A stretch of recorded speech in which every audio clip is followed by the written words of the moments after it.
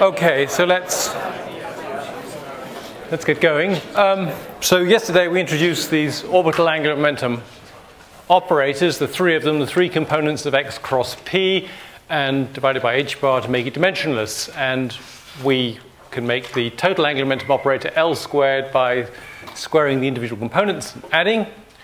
Uh, we established these results that the commutator of, for example, Lx with y is i times uh, z. So you, if you, and similarly, if you do a commutation with Li with, well, Li with Pj, uh, I haven't written this down here, you find uh, I times pk uh, times epsilon, sorry. So, uh, so for example, Lx times p commuted with py would be I times pz. Basically what we're learning here is that L commuted with the component of a vector operator gives you the third vector operator in that set. And from that you can go on very easily to show it, the, the demonstration uh, is exactly um, the same as what we already did with the angular momentum, the total angular momentum operator, that any of these angular momentum, these orbital angular momentum operators commutes with scalars like x squared or p squared or x dot p. Uh, also, L squared commutes with, uh, with any of these things, any of, the component, any of its components. So we have a situation so far which is precisely analogous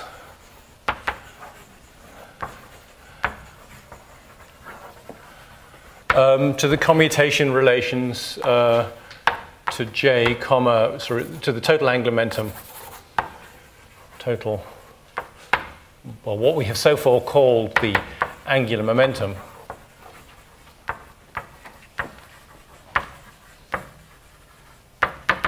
operators. So for example, ji, comma, xj, commutator is i uh, sum over k, epsilon i, j, k, x, k, etc., etc.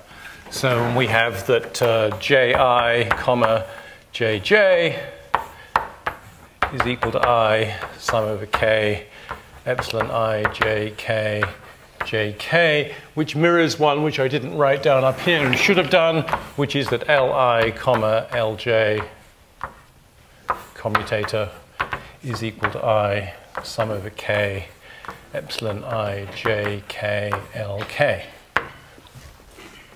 which is really a generalization of this rule, I mean, an application of this rule here to the vector lj being put in here, so lk appears over there, which just says that L is in fact a vector operator, and, and similarly, similarly, this is a generalization. So we have this exact analogy, and the question obviously arises, are they the same operator? Is L the operator which are the operators Lx, Ly, and Lz, the operators that generate rotations that we inferred had to exist just by thinking in the abstract about rotations at the end of last term. And so the answer to that question is, is no, and here is, uh, and here is the demonstration of it. Let's calculate j squared comma li. In other words, let's work out the commutator between the total angular momentum operator um, and one of these components. Then this is going to be, uh, this is a commutator of a product, uh, and I need to write this, this is a sum of squares, so I need to, I need to make that explicit. So I write that as the sum over, over i, say, of ji squared, comma, oops, no, no, I won't do because I've got i busy, j, li, And now each one of these is just a simple product. So we use the rule for taking a commutator of a product. So this is equal to the sum over j still of, uh, sorry, that's a j, what we're summing over. Um, I need to do, I leave one of these standing idly by whilst the L operator commutes with the other one. And then I have the L operator commuting with the other one, the first one, while the other one stands idly by in his position. Now we know what the result of this is because this is a vector uh, and we know we established eight, uh, last term what the commutator of J with the component of a vector is. It's going to be the third member. So this I can replace by an epsilon Ji, say k. So this is going to be a sum over J, uh, and then there is going to be a sum over k coming up of Jj. Uh, there will be an i from the commutator so jj, that's this one here. Make sure that's clear. This is going to be epsilon j i k l k. So, so that's, the, that's the, the fundamental rule we established that the commutator of this with any vector gave you the third component. And then we're here we will have uh, the same thing, epsilon j i k times l k times j, j in the back. So we can clean this up uh, into the i times the sum over both j and k, going from over x, y, and z, uh, of epsilon j i k times jj lk plus lk jj. And um, So this is the sort of thing which often vanishes because this is anti-symmetric. If you swap those two over, j and k, you get a change of sign. And if this were symmetric, we would get a change, oh, sorry, if, and if this were symmetric in j and k, in other words, if you swap them over, you got no change of sign, uh, then you just got the same thing back, then we would have, um, then we would have um, zero. But this is not symmetric. If you interchange, if you interchange the order of these, if you swap the indices, so under a swap, what does this go to? It goes to jk lj plus lj jk, which is not the same as this. So this thing is not equal to zero, but we know that j squared does compute, commute with all of its components. Um, so that sort of suggests that these are not the same, are not the same thing. So, so let's try and understand what these operators, these, these orbital angular momentum, angular momentum operators, and really understand their relationship to the things that generate rotations. So now we need, we need to talk a little bit in abstract about rotation around a path, uh, sorry, motion around a path. So if we just have a translation, we've already studied translations last term through, through one displacement, A, that's, that's generated by the unitary operator, which we called U of A, which is e to the minus i a dot p on h bar. Right? That is the operator which generates out of a state, the state that we would have if uh, our system was shoved along the bench by, or was, was at the different location, a distance, a vector displacement a away. So let's, let's consider the following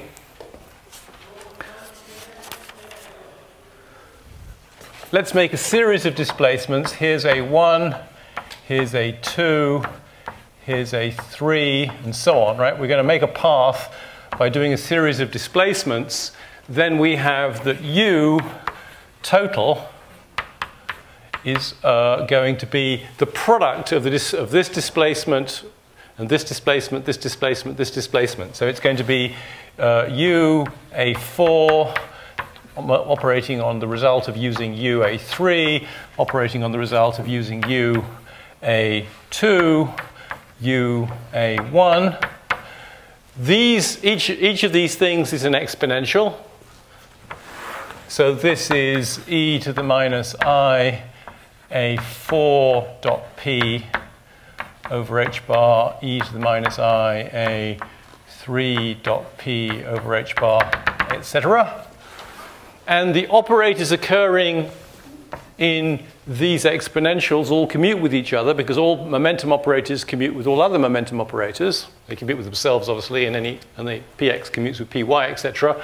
So when we multiply these exponentials together, we have the usual magic of exponential functions. We don't have to worry that those are operators. So these are operators, but we don't have to worry about that because everything commutes. So this can be written as e to the minus i, the sum of these vectors um, summed over i, dotted into p over h bar.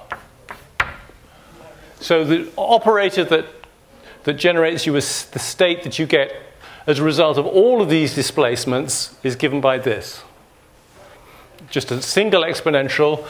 It's just, it's just one of these, it's, a, it's an operator of exactly the original form where the displacement is simply the, the, the sum of them. So the result of taking it this way and this way and this way and this way, we've just shown, is the same as the, as the result of just taking it in a straight line over the sum of the AI. So that's, that's, that's a general argument. And now we say special case. So in particular, particular, for a closed path, so if the path comes, if the, if the path carries you all the way around, what does that mean? It means the sum of the AI zero, All the vectors add up to nothing. And that implies immediately that u total, because it's e to the nothing, is the identity transformation. Now that might sound, sound obvious, but you'll see in a minute that that's uh, anything but an obvious result. So, um,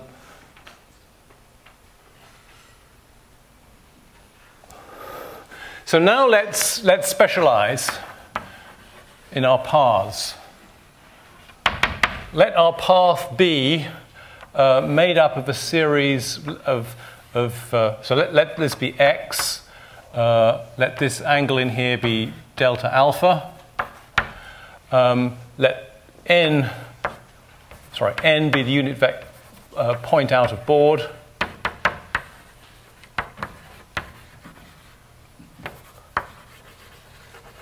Then this vector here, whoops, this displacement vector, this is going to be uh, A equals um, delta alpha n cross x. Right? That's just ordinary classical geometry. That if I go like this and n is out of the board, then that's the displacement that we generate.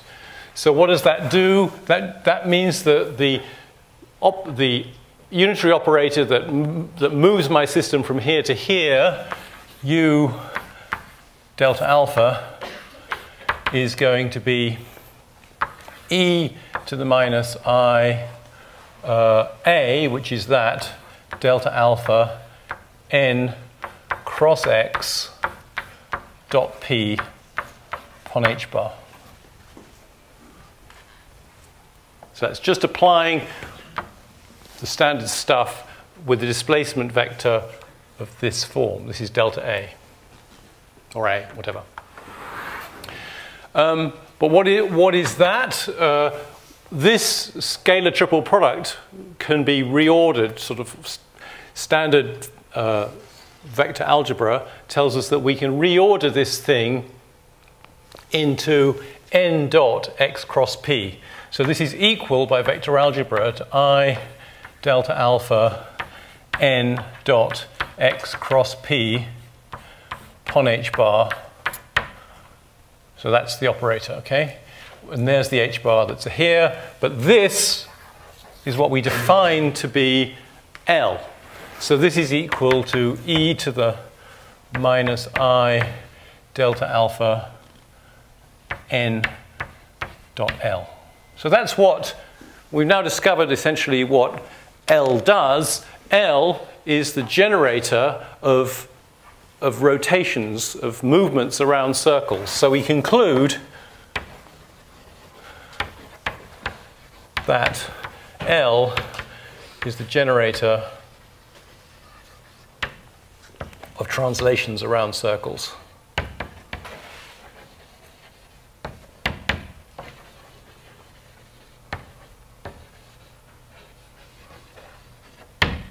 We can also uh, get something interesting, very important, by combining these two, uh, these two things. So uh, for a complete circle, so for, uh, we, we can multiply these things together. So u uh, for a circle is going to be the sum uh, of, of, of, this for all sorts of, of delta alphas, okay? E to the minus i delta alpha n dot L, which is going to be e to the minus i alpha n dot L, where this is, where this is the sum, sorry, it's going to be the product of these. Right, if we make a series of transformations, each one by delta alpha, uh, then that product of these exponentials can be written as the exponential of the sum of the arguments. The sum of the arguments, always, it always had n dot L as the operator, and the sum of the alphas, of the delta alphas, we're going to call alpha. So for a circle, for a circle, this is going to be 2 pi.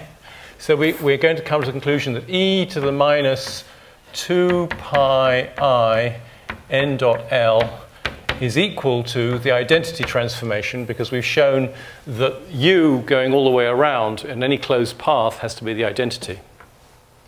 So this thing has to be, has to be an identity for any vector, any unit vector n. n. And we'll need that result shortly. And what, yeah, what, so what do we, um, come on. Uh, so what is the general, the general picture here? Um, we can now understand what the distinction is between orbital angular momentum and angular momentum. So uh, what, here we have a, so look at this L and then there's this arrow here. Uh, if we, um, uh, so we're moving the, we're moving the point at the base of the arrow around a circle. We're just translate, translating it. Let's just go back. So we're, we're just moving it round a circle, but we're not doing anything to its internal structure. We're just translating it. So if it has a little arrow, it has an orientation, as for example, a, the, the direction of its spin, that's, that's not going to change its direction. It'll just be carried round. Now ask what J does. What J does is it makes you the same, the system you would have had uh, if you took what you've got and you rotated it on a turntable around the origin. If you rotate it on a turntable around the origin, this is what happens. The orientation of the particle changes as well as its location. So J is changing locations, L, sorry, L is only changing locations. J is doing a complete job by putting the particle on a turntable and rotating it at the same time as translating it. That's the difference.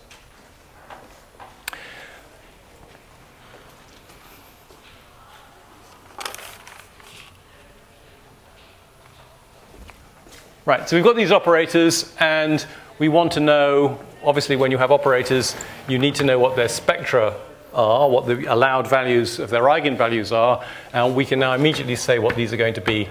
Uh,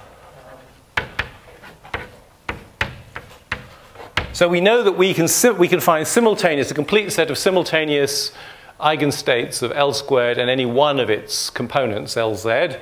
That's the same as when we were dealing with the angular momentum operators.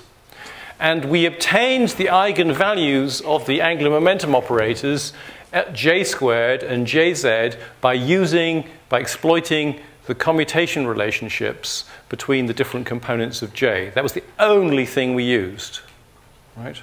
So we, we, we got um, that the e values of uh, j squared Jz were. They were J, J plus 1.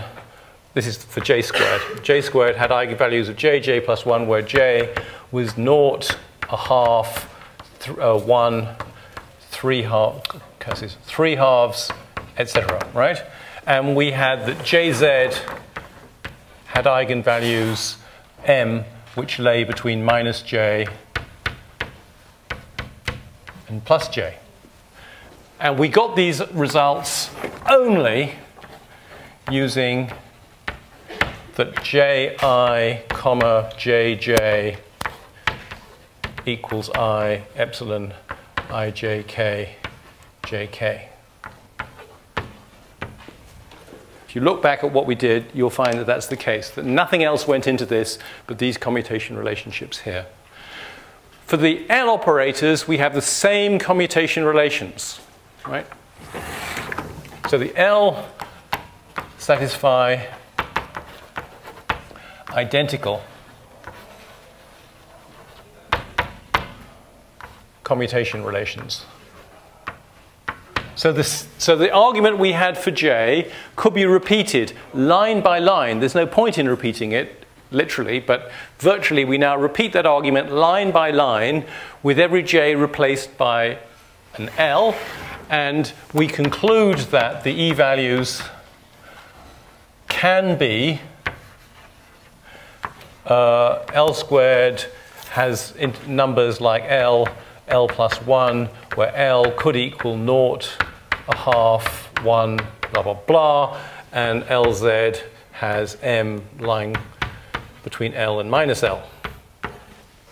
But then we think, but, so these are the candidate, no other numbers are possible than those numbers, right? That's what that argument shows. Are all those numbers possible? No, for the following reason. But uh, e to the 2 pi i lz has to be the identity operator. We've just shown that. That's, a, that's, that's this statement uh, with n put equal to the unit vector in the, in the z direction, okay? So, actually I need a minus sign. So we have that this thing has to be the identity operator.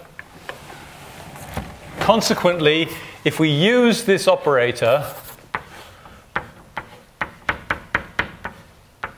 on one of our states, which are going to be called Lm, right? This is the mutual eigenstate of L squared and Lz with eigenvalue LL plus 1 for L squared and M for Lz, precisely by analogy with the uh, um,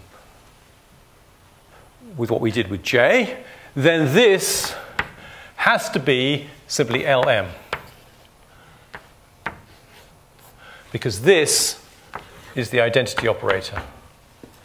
But what actually is this? If we have, so we're doing an exponential of this operator. This operator looks at this and says, that's my eigenfunction, and therefore it replaces itself with the eigenvalue. So this is e to the minus 2 m pi i times lm. Comparing this side with this side, we have that e to the 2 pi i m is equal to, is equal to the number 1. And that implies that m is an integer. Because if it were a half integer, this will be e to a certain number of i pi's, which would be minus 1. But we've shown it cannot be minus 1, so it's an integer. So this is, the, this is where there is a difference between what happens, between what L does and what J does, and why we have to keep track. So L is looking very like J, but it is not J because it is, well, we've seen physically that it's not because what it, what it it, it, merely translates you around a circle. It doesn't rotate you around a circle. And that has the consequence that uh, m has to be an integer.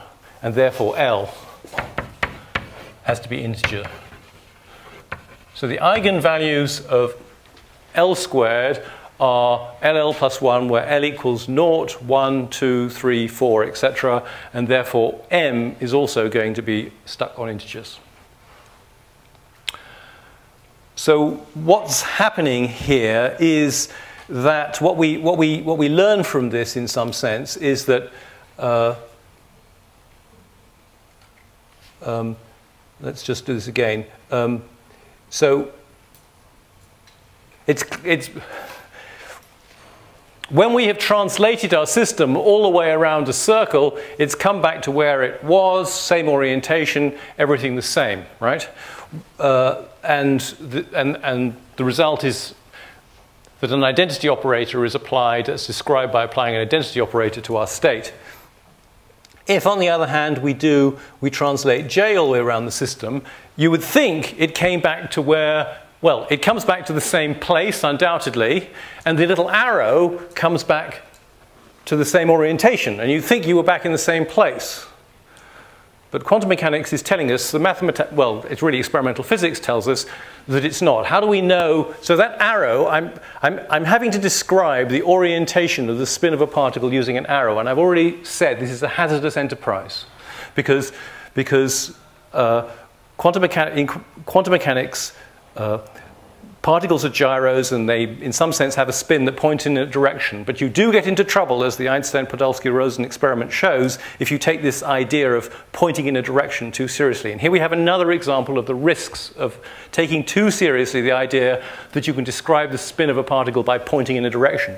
Because when it has gone all the way around, the, the, the state vector has changed sign in the event that this is a half integer. And for uh, and, and, and, the, and the Stern-Gerlach experiment and other experiments, many, zillions of experiments, show that electrons and protons and so on do have half integer values. Their angular momentum comes in half integer amounts. So when you take a, when you, when you take a real electron on one of these tours around the origin, its state is somehow different from the state it started from.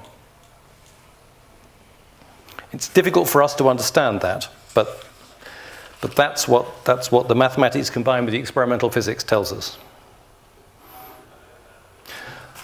Okay. So the next item on the agenda is, is the eigenfunctions.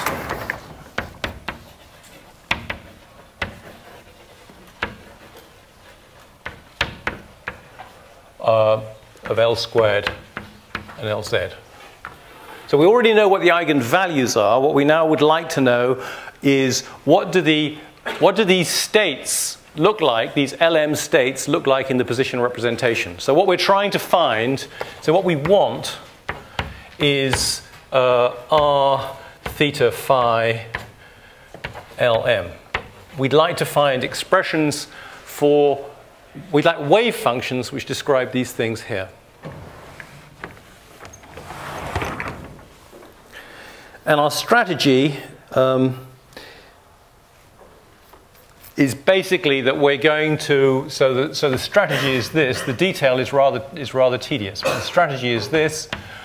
Uh, we are going to apply L plus to LL and get nothing. We're going to express this abstract, so this is Lx plus, this is, all right, I think we talked about this yesterday, but I'm not absolutely certain, Lx plus I Ly. So this is the operator which will try and raise the m entry here to one larger, but that's not possible because it's already the largest, largest value, so it'll kill it. So this is, this is an operator equation. We will look at this operator equation in the position representation, and then it will become a first order differential equation. We will solve it. It'll turn out to be dead simple to solve. Uh, so that, that, will, that will lead us to let me leave off the R because we're not really interested in R for the moment. It will lead us to this, LL. And then we will be able to say that uh, theta phi uh, L, L minus 1 is equal to uh, theta phi, sorry, there's a horrible square root now, uh, L, L plus 1 minus M, m minus 1 times L minus um, to the, sorry, this will lead to the, to the minus 1 times L minus uh,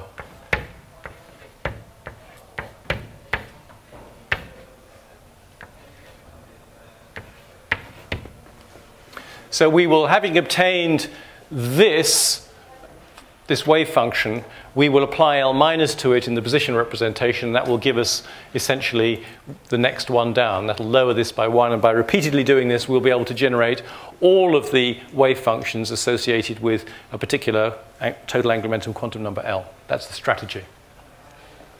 To carry this out, what we need is expressions. We, we need expressions in the position representation for these operators.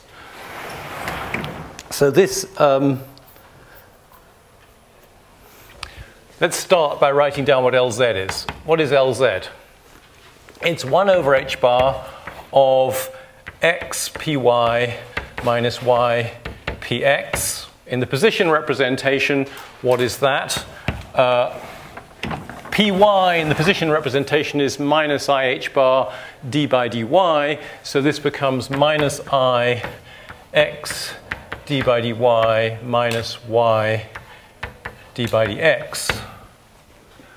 Now to find out what that is, we could just we would, we, we would like to express everything in terms of theta and phi because we know, we know angular momentum is to do with rotations. That's why we want to use theta and phi, spherical polar coordinates. Um, and we could just use the chain rule to turn this into derivatives in theta or phi, but it's much easier to go to use the chain rule, not going from this to, to d by d theta, d by d phi, but to go to write to find out what is d by d phi according to the chain rule. It's dx by d phi, d by dx, plus dy by d phi, d by dy, plus dz by d phi, d by dz, right? That's just the chain rule from calculus. Now we put in what these x, y, and z are. We know that x in polar coordinates is r sine theta cos phi. We know that y is r sine theta sine phi. And we know that z is r cos theta. So this implies that, so take a derivative of this with respect to phi, we have that dx by d phi is going to be minus uh, r sine theta sine phi, which is the same as minus y, uh, minus, is going to be simply minus y. Um, we have that similarly dy by d phi that becomes a cosine, and therefore this becomes x. And we have that dz by d phi is nothing at all. So we take these results and stuff them back in here, and that tells me that d by d phi is equal to, um, that's a y, sorry, that's a minus y, so let's write down minus y d by dx plus x d by dy. What is the relationship to what we have up there? Uh, that is, um, okay, so this is precisely what's in that bracket for Lz. So this implies that Lz is minus i d by d phi. Of course, this is no surprise because Lz is the thing that rotates you around the z-axis, and everybody knows that the spherical polar coordinate is defined as the angle around the z-axis. So it's, it's kind of obvious that this has got to be the case, but it's, it's nice to see that the chain rule delivers the goods. Now the next bit is distinctly more tiresome. What we now have to do is, what we want to do is, as I said, is express L plus and L minus, Lx plus L, you know, plus ILy in terms of d by d thetas and d by d phis. You could go at this just by brute force, um, but the algebra would be heavy, so and the algebra is not going to be that wonderful now. Here is, I think, uh, this is the way to do it. Right, so let's just calculate what d by d theta is using the chain rule.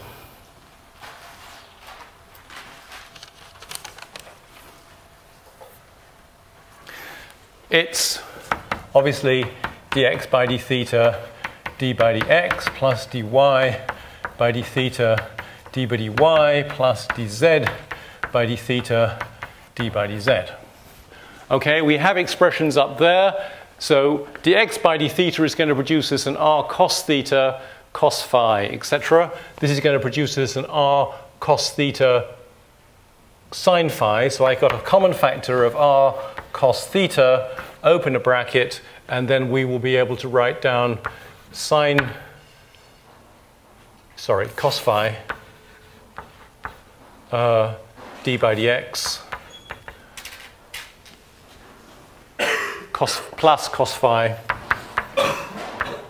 sorry, plus sine phi d by dy.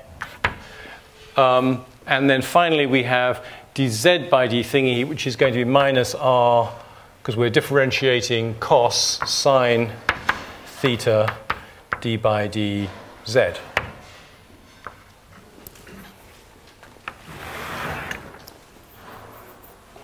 Now let's take our expression for cot, sorry, for d by d phi and multiply it by cot theta. So we're going to write down cot theta d by d phi, just for the fun of it. Um, so, right, so this has to be, we're going to, in, the, in doing it, we're going to replace well, let's take this one first. It's going to be r, that is r sine theta cos phi. When we multiply by cot, which is cos over sine, the, the sine is going to go into a cos. So this is going to be r cos theta brackets sine phi, excuse me, cos phi d by dy. So this this is this here is r sine theta cos phi, which is x, times cos over sine, which is cot. And then that y is going to be r sine theta sine phi, and this cot multiplication will turn the sine theta into a cos theta I take out, and we will have a sine phi here, d by d, d by d, how much? x um, that's it, right.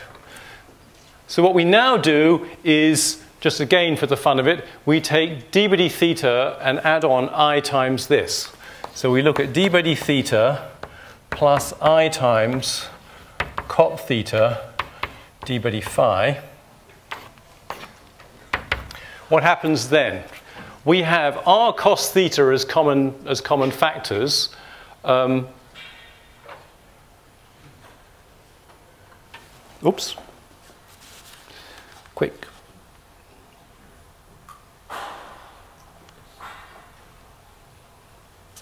Uh, I should have, yeah, excuse me, yes, that's right, that's fine. Um, I'm looking at the wrong coefficients. So what am I going to be doing? I'm going to be adding this and this. So we're, we're, going to add i times this to that, so with a common factor of d by dx. So we're going to have cos phi minus i sine phi, which is well known to be written as e to the minus i phi. That's how much of d by dx we're going to have. And then we're going to have sine phi plus i cos phi.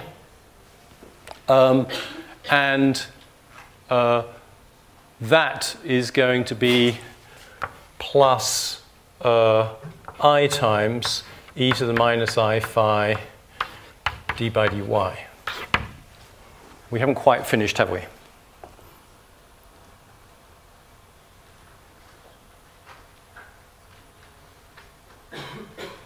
Right? So if you expand this out, it's going to give you an i cos phi, which we want. Uh, that's this one here, times i. Uh, and it will contain a minus i sine phi times an i, which makes it a plus just plain sine phi, which is what we want there. Then finally, we've got this in the back. Uh, so we we're from here, so we have minus r sine theta d by dz. Yeah. So supposing we, oh, and this thing um, could be written, r sine theta is um, this, uh,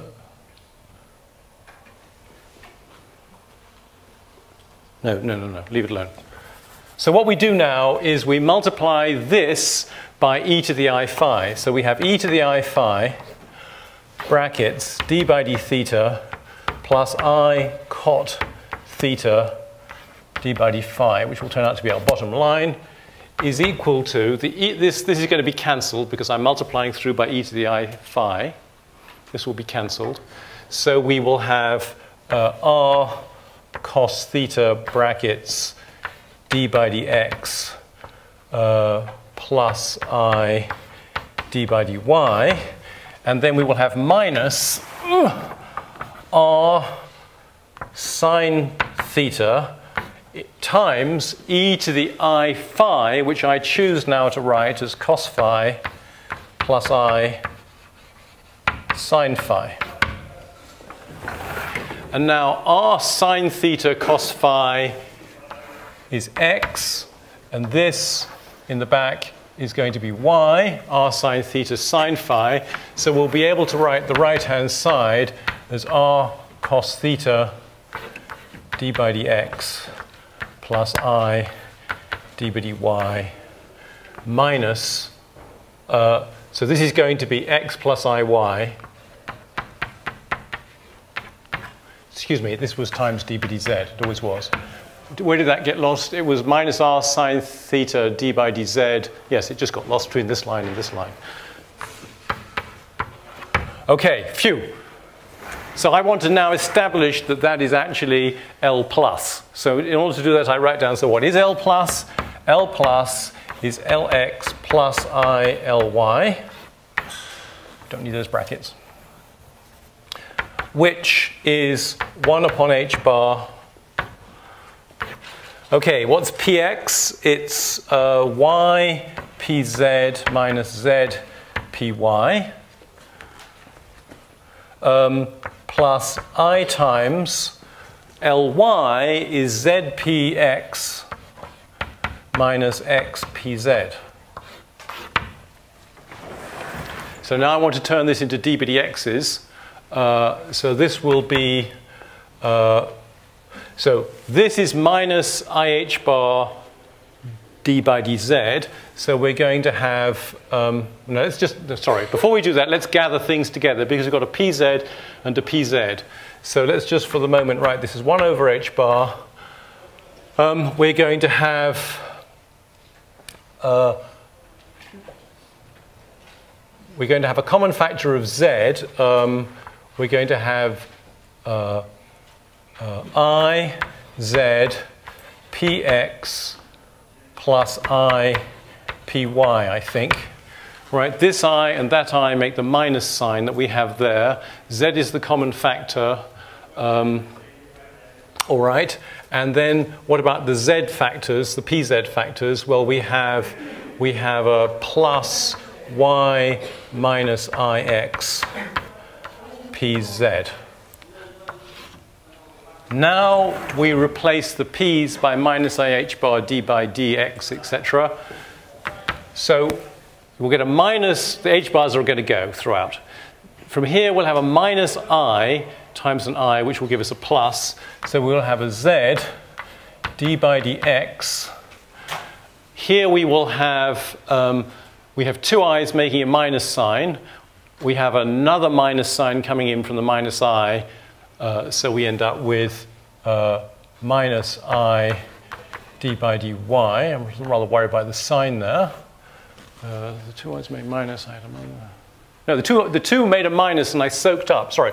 These two i's made a minus. I brought in another minus from minus i h bar d by d. The minus is cancelled, leaving me only with the i.